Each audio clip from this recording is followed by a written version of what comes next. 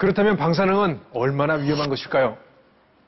미국 과학 아카데미에서 발행한 BIR7의 보고서에 따르면 피폭량과 암 발생은 비례한다는 결론을 내렸습니다.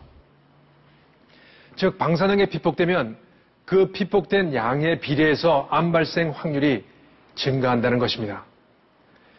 기준치 이하에서도 피폭량에 비례해서 암 발생이 증가한다는 것이 세계의학계의 결론입니다. 특히 아이들은 성인과 달리 방사능에 매우 민감합니다. 아이들은 미량의 세슘에도 크게 다칠 위험이 있습니다.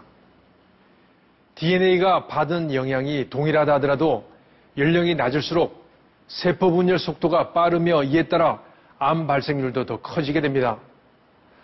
방사능에 의해서 발생하는 질병은 갑상선암, 유방암, 백혈병 등 암과 선천성 기형, 사산, 유산, 지능저하, 불임, 불임 등 유전성 질환, 유전성 질환, 신근경색, 신근경색, 그 외 신장염, 폐렴, 중추신경계 질환, 백내장 등이 있습니다.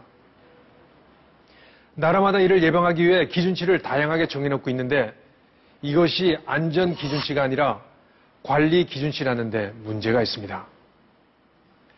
그리고 세슘은 꾸준히 축적되기 때문에 매우 위험하다는 것이 전문가들의 지적입니다.